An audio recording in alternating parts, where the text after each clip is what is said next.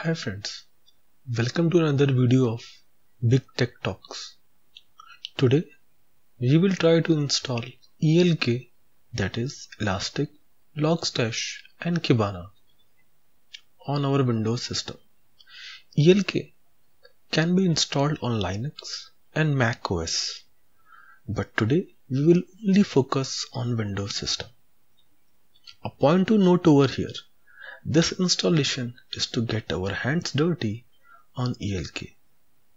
In actual production environment, the installation is quite different. So what basically ELK means to us?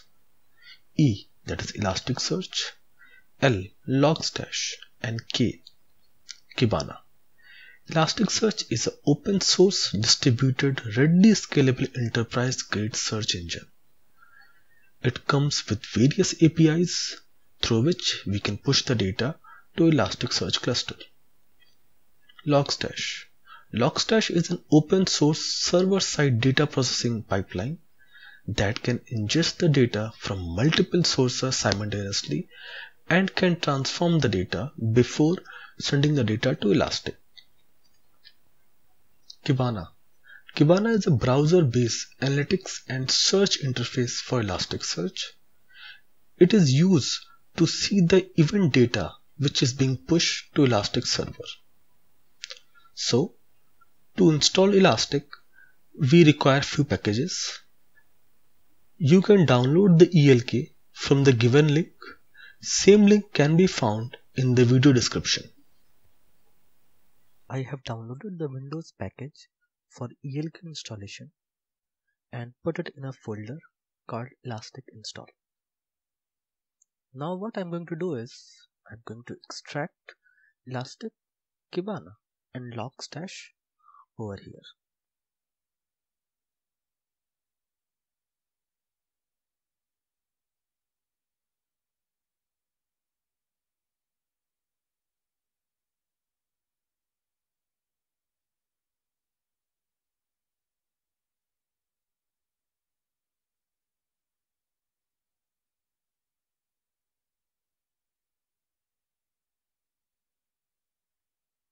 As you can see, I have unzipped all the folders Elastic, Kibana and Logstash.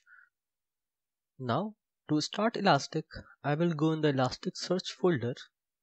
Under this, under the bin, and I can see a file with the name as Elasticsearch that is the Windows batch file. I will double click on it to start. As you can see, a command prompt has been opened. Over here you will see an IP address with the port number which is for the elastic.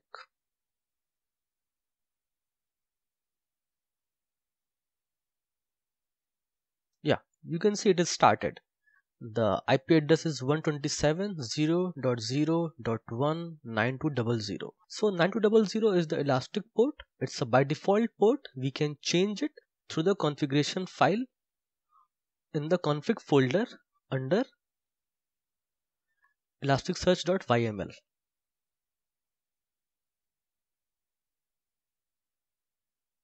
You can see this is the port. This is the default port for Elastic. So let's go to browser and see how does Elastic look like. We will type localhost with the port number 9200 and yeah we can see that elastic is up and running. This is my system name. This is the cluster name which by default is elasticsearch. This is the version number. I am running elastic 7 this is some build flavor that os says build type is zip and these all informations are there. Okay so now we can see that our elastic is up and running. Now we have to start our kibana. Go to kibana folder Kibana 7.0 Windows folder in the bin. You can see the first file Kibana that is the Windows batch file. Double click on it to start. The same thing a command prompt will be started. You will see a IP address and a port number with the starting message which indicates that the Kibana is up and running over here you can see Kibana has created a dot Kibana underscore one index for itself. This index can be seen in the Elastic.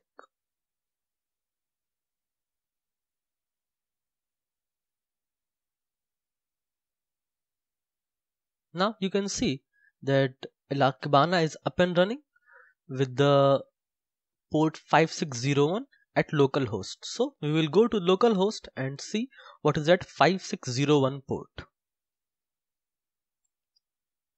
Localhost 5601 port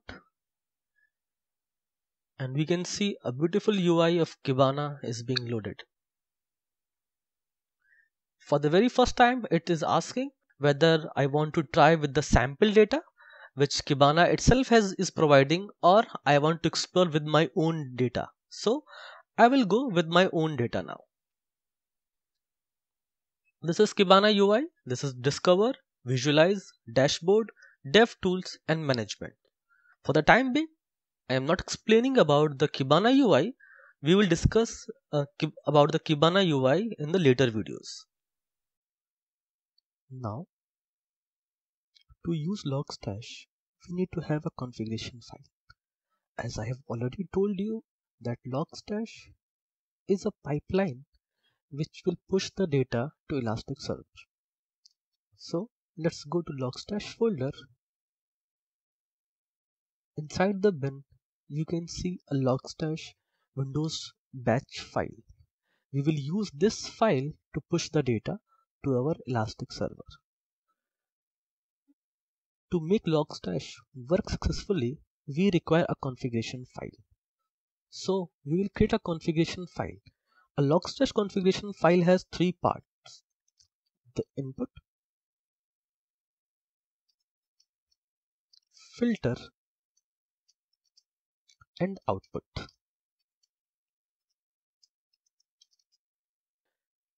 Input is compulsory, output is also compulsory, filter is a optional for us. So for the time being, we will remove filter from here.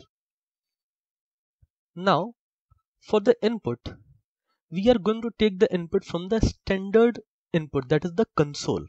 So what we are going to do is we are going to just write std standard input. That's it. And for the output since we want to push the data to elastic so we will mention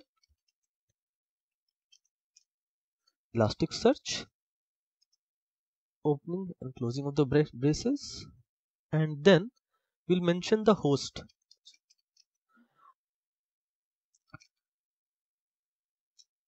In the square bracket I will mention the IP address or the host name and the port number. Since I don't have a username or a password, so that is not required over here. And I have to mention the index where my data should go.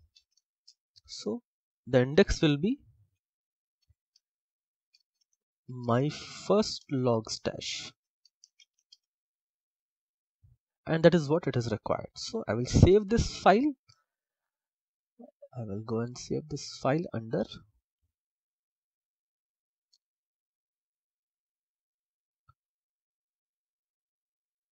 simple conf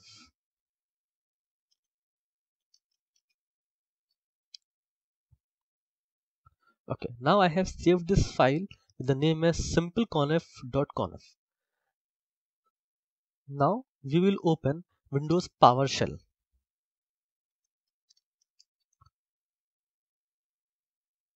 Over here, we will go to the Logstash folder. That is downloads elastic install logstash 7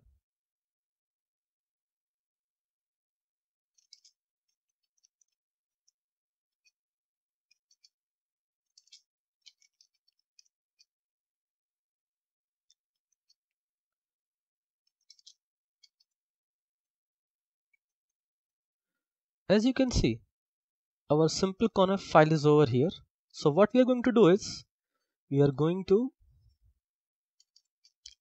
logstash under this we know we have a folder called bin in that we have a file called logstash this is the same file which is mentioned over here. Now I have to pass the configuration. So I have to put hyphen f and the configuration file name that is simpleconf which is this file. Localhost 9200 index my first logstash input is standard input output is the elastic. And what I'm going to do I'm just going to hit enter. That's it. Now it will wait for me to put some values. So I have some flight data over here. I will copy around six records and replace and will place over here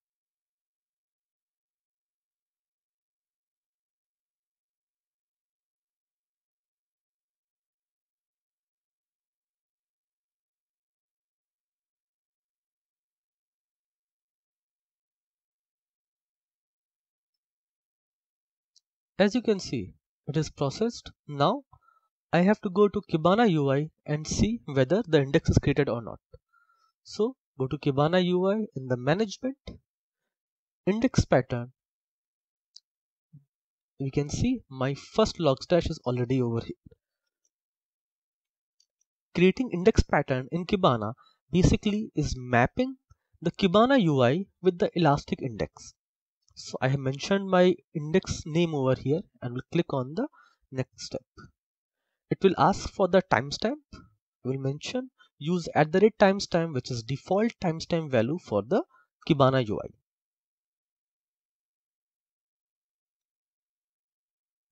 now you can see I have uh, created my index.